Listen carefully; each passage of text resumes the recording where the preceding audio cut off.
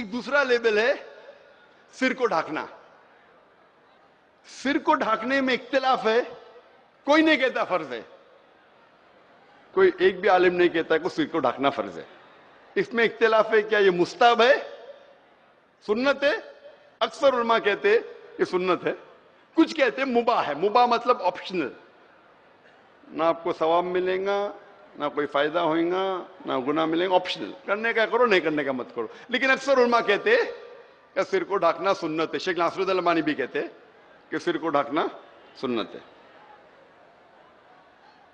अगर आप पढ़ेंगे, हदीस में लिखा है, सही बुखारी में, जिल्द नंबर सात, किताबुल लिबास में, चैप्टर नंबर सोलह, हदीस नंबर छह, नौ, आठ, इसमें लिखा है कि इब्न अब्बास फरमाते रदलवन कि मोहम्मद सल्लल्लाहु अलैहि वसल्लम जब घर के बाहर निकले तो उनके सिर के ऊपर एक काली पगड़ी थी। एक दूसरी अज़ीज़ है, अनस बिन मलिक रदील्लाहु फरमाते कि मोहम्मद सल्लल्लाहु अलैहि वसल्लम ने अपने सिर पे एक कपड़ा बांधा। कई हदीस है। और एक हदीस है सही बुखारी में, जिल्द नंबर सात में, किताबुल लिबास में, चैप्टर नंबर सत्रह, हदीस नंबर छह नौ नौ। इसमें अनस बिन मलिक रज़ी फरमाते कि फतेह मक्का के साल में जब मोहम्मद सल्लल्लाहु मक्का में दाखिल हुए तो उनके सिर के ऊपर हेलमेट था। ऐसी कई हदीस है। और शेख नासरुद्दीन अलबानी के मुताबिक एक भी हदीस नहीं कि मोहम्मद वसल्लम का जिसमें ज़िक्र आता है कि वो घर के बाहर निकले और सिर ढका नहीं था एक्सेप्ट फॉर जब वो एहराम की हालत में थे। तो इसलिए अक्सर उलमा कहते हैं कि सिर को ढाकना सुन्नत है, कुछ उलमा कहते हैं मुबा है। लेकिन अक्सर कहते हैं सुन्नत है। यहाँ हमारे जो सिर को ढाकने का अक्सर तरीका आम तो मुसलमानों में, जो हिंदुस्तान में, वही टोपी। तो एक लेवल हो गया दाढ़ी, दूसरा हो गया टोपी। ये टोपी जो मैं पहन रहा हूँ, बहुत सस्ती है, तीस रुपए की है, तीस रुपए की। थोड़ी अच्छी क्वालिटी लेंगे तो पचास रुपए की। और अच्छी लेंगे तो पचहत्तर रुपए की। ये टोपी, मामूली टोपी है, एक मक्खी को भी नुकसान नहीं पहुँचा सकती है। हाँ? इससे लोगों को डर क्या? और पहनने में मुश्किल क्या? ना महँगी है अब कुछ टोपी महँगी होती। दो सौ रुपये हज़ार रुपये तो कुछ लोग माशाल्लाह अच्छी अच्छी टोपी पहने। मैं सस्ती टोपी पहनता हूँ, तीस रुपए की। लेकिन सिर को ढाको। अगर आप नौकरी करने जा रहे, आपका बॉस आपका मालिक, अगर कहा, मैं टोपी मत पहनो। ठीक है, मैं टोपी को घिसे में डालो। लेकिन जब नौकरी से बाहर निकले, उस टाइम तो पहनो। वो थोड़ी बॉस आपको तनख्वाह दे रहा है उस टाइम तो पहनो। मुसलमान अक्सर क्या करते, जब मस्जिद में जाते, नमाज़ पढ़ने के लिए टोपी पहनते, मस्जिद के बाहर निकलते, टोपी अंदर डालते। क्यों? नमाज़ के लिए पहनते अच्छी बात है। टोपी पहनते अच्छी बात है। अलहमदुल्ला कम अज कम नमाज़ के टाइम पे तो सिर को ढाक रहे लेकिन नमाज़ के बाहर निकले तो टोपी खिसे में?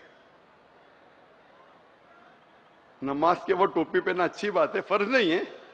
लेकिन कम अज कम नमाज़ के टाइम पे तो हम अपना सिर ढाके, अच्छी बात है। लेकिन जब नमाज़ के बाहर निकलते, टोपी क्यों निकालते? कहीं लिखा है कि टोपी निकालो। तो हमेशा पहनो ना, नमाज़ में जब पहन रहे तो बाहर भी पहनो ना। मैं क्योंकि बम्बई शहर में रहता हूँ। बम्बे वालों से अगर आप पूछेंगे, क्या अपने दादा से पूछो? पचास साल पहले, साठ साल पहले, अस्सी साल पहले बम्बई शहर में अगर किसी को टैक्सी में सैर करने का होगा तो क्या करेंगे वो? वो देखेंगे टैक्सी ड्राइवर दाढ़ी टोपी वाला होना चाहिए। क्यों? क्योंकि दाढ़ी टोपी वाले ईमानदार है। ये दाढ़ी टोपी वाला मुझे घुमाएगा नहीं। तो लोग अक्सर, चाहे मुसलमान या गैर मुस्लिम हो, वो गैर मुस्लिम भी ढूंढता था कि टैक्सी ड्राइवर अगर दाढ़ी टोपे वाला है तो मुझे वो बेवकूफ़ नहीं बनाएगा। अगर किसी को कुछ दुकान से खरीदने का है तो कोशिश करेगा जो दुकानदार है, वो दाढ़ी टोपी वाला है तो ये मुझे बेवकूफ़ नहीं बनाएगा। ये मुझे चीट नहीं करेगा, क्योंकि उनके जहन में एक सोच थी ये गैर मुस्लिम भी सोचते थे कि ये मुसलमान हमें धोखा नहीं देंगे। भले मैं इनकी बात मानू या ना मानू, ये मुसलमान हमें धोखा नहीं देंगे। इतनी इज़्ज़त थी दाढ़ी और टोपी की। ये कभी की बात है? पचास साल पहले, साठ साल पहले, अस्सी साल पहले जब मैं पैदा नहीं हुआ था। मेरी उम्र माशाल्लाह पचास साल से कम है। लेकिन आज आज अगर मुंबई में आप दाढ़ी टोपी पहने तो लगता है ये तो भाई गुंडा है। ना दादा आ गया। तो आज किसको दादागिरी करने का है तो वो दाढ़ी टोपी, ये सोच बन गई, सोच बदल गई। और बदलने की वजह क्या है? हो सकता है कुछ हमारे मुसलमान गलतियाँ कर रहे कुछ मुसलमान गलती करते मीडिया उसे उछालती है। और ऐसा पेश करती है कि हर दाढ़ी टोपी वाला गुंडा है। तो भी गैर मुसलमान का नज़रिया बदल गया है।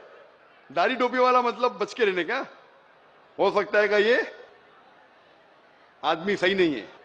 तो मीडिया अभी गलत पिक्चर पेश करने लगा दाढ़ी और टोपी का। और लोग दाढ़ी और टोपी से दूर भागने लगे। हम मुसलमान भी। दाढ़ी टोपी में क्या है? इस्लाम तो ही दाढ़ी टोपी में। और वो दूर भागने लगे। लेकिन मैं कहता हूँ, मान भी लो, क्या ये नज़रिया बन गया है आम माहौल? कि दाढ़ी टोपी पहनने वाला सही इंसान ने कम से कम आप दाढ़ी टोपी पहनो और साबित करो कि मैं तो अच्छा हूँ।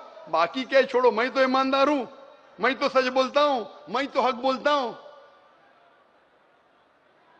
इसीलिए जानबूझ के बाकी लोग अगर मीडिया खराब कर रही है इस लेबल को, ये लेबल जो इतने सालों से आ रहा है, सैकड़ों सालों से, इस लेबल को अगर मीडिया आज खराब कर रही है तो हम इस नज़रिए को बदल सकते।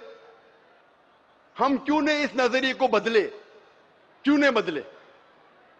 लेकिन हम मुसलमान पीछे हटते।